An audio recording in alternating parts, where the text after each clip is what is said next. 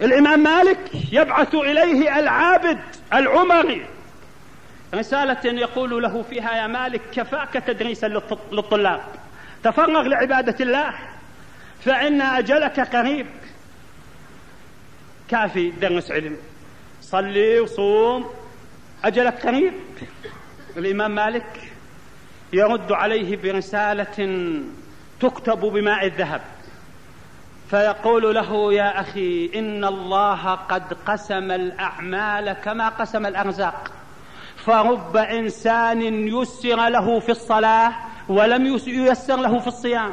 ورب إنسان يسر له في العلم ولم ييسر له في العمل. وأنت يسرك الله للعبادة وأنا يسرني لطلب العلم فكلانا يعمل من أجل الله.